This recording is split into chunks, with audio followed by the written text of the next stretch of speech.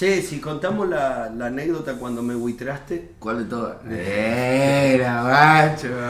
Que nunca la, co- la contamos, pero nunca bien detenidamente, corte bien explicada. Cuando, cuando fue lo del MCN. Sí. No, re quilombo. No, esa ratre. ¿Entienden que el cuervo me buitrió? ¿Entienden? Mal ahí, cuervo. Encima es una anécdota re vieja, o sea, re mil vieja, la más vieja que tenemos, porque fue cuando apenas nos conocimos casi, weón. Pero nosotros le estamos hablando de hace cuántos años atrás, Y cuervo. no sé, edad Teníamos 15, 14. Menos, 14. 14, 14 sí, años 14. teníamos, 14, 15 años teníamos. Hace 14 años. No, no sé si me guampió, que se lo vamos a preguntar ahora, pero sí, sí estuvo en offside, digamos. Sí, no, guardié, boludo, qué cosa... Eh, Pero eso porque por querer meterme, ¿entendés? Cizaña, no sé, boludo. Andás a ver qué playaba yo en ese momento, boludo. Esto fue hace más o menos 15 años atrás, Sí, teníamos 15 años nosotros, hoy tenemos 30, nada, tenemos 20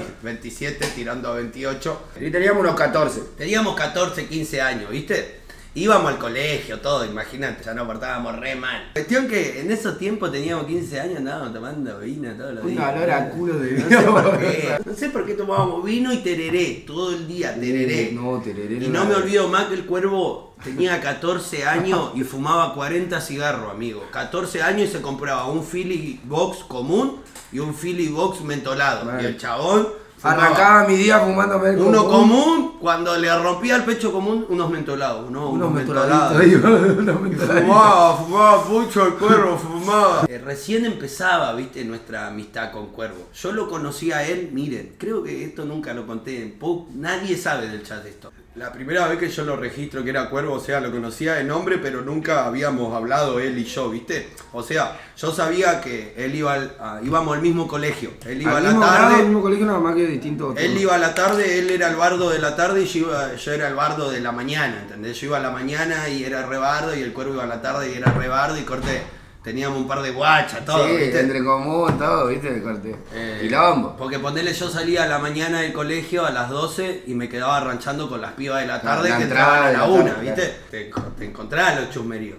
Y en una de esas yo me entero que el cuervo hacía joda, hacía joda en su casa, ¿viste? Ahí en Villamónica, donde hacemos los campeonatos de penal y todo. A todo esto yo no lo conocía personalmente a Cuervo. Pero como íbamos al mismo colegio, me enteré que hacía jodita y que vivía a dos cuadras de mi casa, ¿entendés? Y voy a la joda, el- yo me entero que hacía joda el chabón, y voy a la joda. Ah, pero John ya era tu cuñado. Claro, y nosotros no sabíamos, o sea, yo no sabía. Yo, yo, mi hermano era el novio de la hermana de él Mal. y nosotros no teníamos relación. Claro, ¿Cómo o sea, estaba no. escrito el destino? Mal, guacho, qué locura, boludo. caigo a lo, lo de él y habían, no sé, 15 personas. Sí, nada, no había nadie. Todo no pinta nadie. era. Sí, matamos con los pies de la piedra nosotros. Sí, el cuervo no paraba en el barrio. El chabón paraba en La Colorada, que es un barrio al lado de Villamónica, ¿viste? Claro. Y no sé qué pun que pan caigo a la joda y este Gil Corte me quiso vacilar, ¿viste? No, pero yo estaba en esos momentos, era re maldito. El cuervo era, era muy descanso, amigo. Me, me... El cuervo era, no maldito. Sí, maldito. Era boludo, maldito, Era maldito. Me gustaba hacer maldades, boludo. Te era- quiero hacer llorar con lo que te estoy Claro, pasando, ¿entendés? claro. Bueno, lo de la galletita, eso también, boludo. No, la eso de la maldad. galletita, no. Sí, era re gil, boludo, te juro, boludo. Te juro que era re gil. Cuestión que nos conocimos así con el cuervo. Voy a la joda y dice, no sé, me empieza a vacilar este Gil, ¿viste? Me empieza a decir, qué sé yo, me tiraba el chacarrillo 100 pesos la entrada. Nah, mentira. Eh, Cosas así, ¿viste? Ah, mentira. Entra, entra. No, mentira, no entra. Pará, no, digo, No, pará, pará, pará, pará. pará que estamos, traete, ay, así, cosas así, ¿viste? Vayan a darse una vuelta y vengan un rato, le digo. Claro. Y en una yo me recaté del fly y digo, este Gil, ¿qué onda? ¿Viste? Y como habían 10 personas en la casa, Claro. me fui a la mierda, me fui, ¿viste? Bueno, y al tiempo nos conocimos. Cuestión que ya éramos rancho, ya éramos amigos, pero no hace tanto tiempo. Yo recién lo estaba conociendo al chabón, ¿viste? Una de esas noches que ranchábamos lo del cuervo siempre. Él estaba con la Nedu en el MCN, ¿viste? Y estábamos Imaginate. MSN, boludo. MSN se Y no me olvido más, guacho. Me acuerdo hasta cómo estaba puesta la mesa, para dónde estábamos mirando nosotros. Estaba la mesa del cuervo, el- la jarra de tereré, los cigarros y la nenu. Y estábamos ranchando, ya era Moñeri ponerle hace un par de meses. Estábamos ranchando, yo iba al colegio a la mañana, él iba a la tarde, del mismo colegio. Yo salía con una pibita de la tarde en esos tiempos. Yo era el noviecito, corte de la. Era una de las más solicitadas en ese tiempo. Sí, boludo. En ese tiempo era. Pero no sé, porque no sé qué onda la mina, algo tenía. Claro, no sé. Porque era tampoco pilla. era. Claro, era visita, ¿entendés? Estábamos ranchando con el cuervo, tipo 3 de la madrugada, tomando tereré, él, él con la Nedu y yo al lado, corte, estábamos. Estábamos Boludeando, boludeando la boludo. Era, éramos muchos de hacer videollamadas, cosas así, o hablábamos por teléfono con guacha. Pero por teléfono local, ¿entendés? Claro. 4274. Hola, amor, ¿entendés? Estábamos ranchando ahí, era así, la mímica Sí, así, así. estábamos ahí, él con la Nedu ahí. Y en una tipo 2, 3 de la mañana tocan el timbre y digo, cuervo anda a abrir, le digo, ¿viste? El cuervo se va a abrir. Y yo veo así, ¿viste? Y quedo con el MCN, le estamos hablando tiempo del MCN. Y en una empieza tururón, tururón, tururón, tururón. Y el cuervo había ido Yo a todo esto no me acuerdo quién había tocado timbre y abrir quién- el portón. con quién estaba yo hablando. Agarro el mouse ahí, tú, entro. ¿Quién era? La loca. Mi novia, mi novia de, de- del momento. ¿Viste? Y yo digo, bueno, qué sé yo, son compañeros, qué sé yo, ¿viste? Empiezo a leer y veo que le pone, gorda, te tengo que contar algo, le pone el cuervo, ¿viste? Digo, ¿qué le tiene que contar el cuervo? Yo ya lo conocía, ¿qué tiene que hablar con la guacha, ¿entendés? Dice, te tengo que contar algo, porque vos no te mereces esto, vos te mereces cosas buenas en la vida. Imagínate lo que yo le ponía a la guacha. Así. Eh, vos tenés, mereces algo mejor. Pero le dice, el aucho, dice, el aucho tiene sobrino que tiene una niñera, le dice. Y él te está engañando con la niñera de los sobrinos. Decía ahí. Y era imposible que mi novia se entere. Porque, porque no había La conexión mi- de yo, nada. yo iba a un colegio privado y la mina media flogger ahí. y Yo ya andaba re atrevido, ¿entendés? Yo, no es.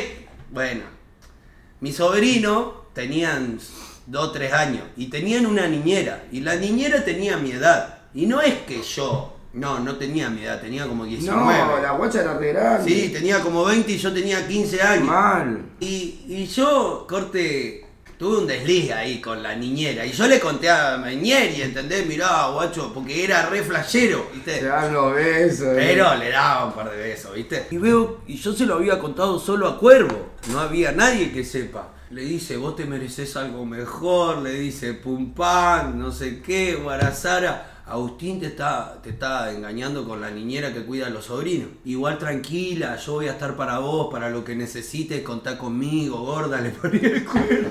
A todo esto en cuestión de dos minutos, Claro, el cuervo se estaba hablando ahí.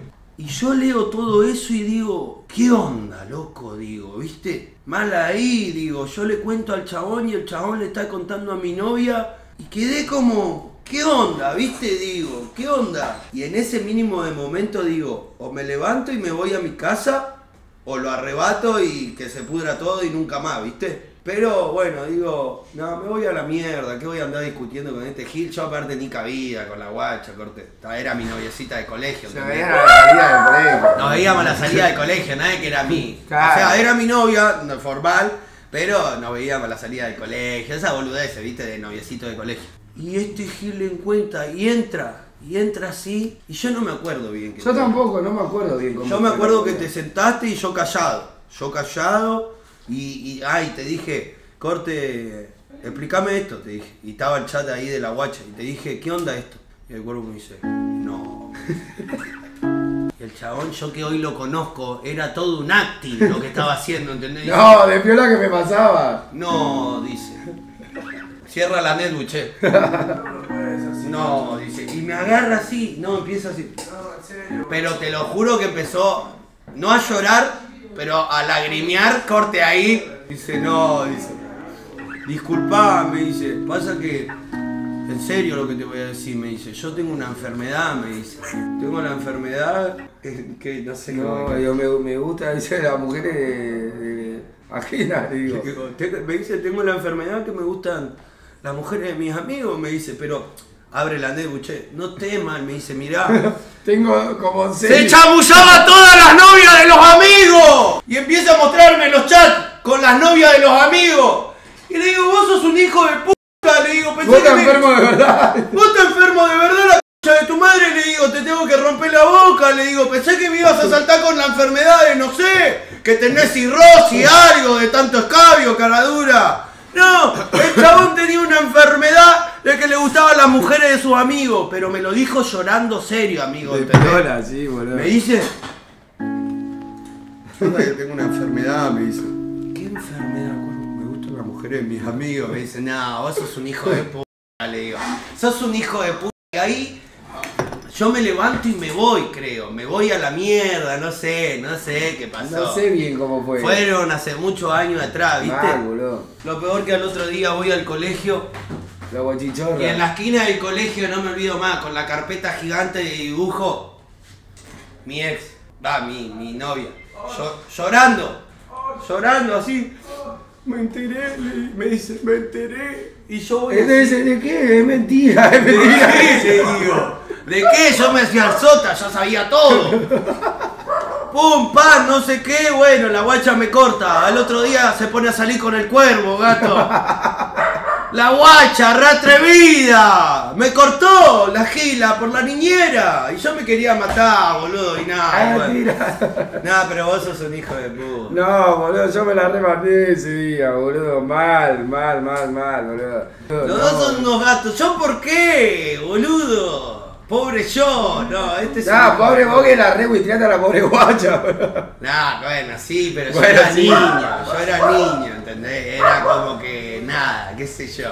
¿A alguien le pasa que le gustan las mujeres ajenas? Dame un montón.